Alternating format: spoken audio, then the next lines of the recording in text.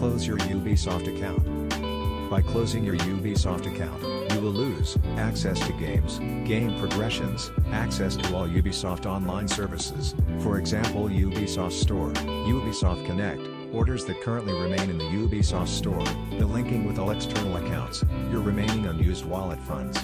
You can cancel this process anytime during the 30-day suspension. Beyond that period, your Ubisoft account will be closed, and you'll permanently lose all your settings, content and data. I've read the above information and I want to continue closing my Ubisoft account. Your account will soon be closed. You've successfully started closing your account. You can still reactivate your account within the next 30 days.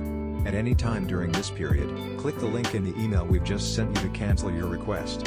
Otherwise, after the 30-day period, we will, as per the request, permanently close it, and you'll lose all your settings and data.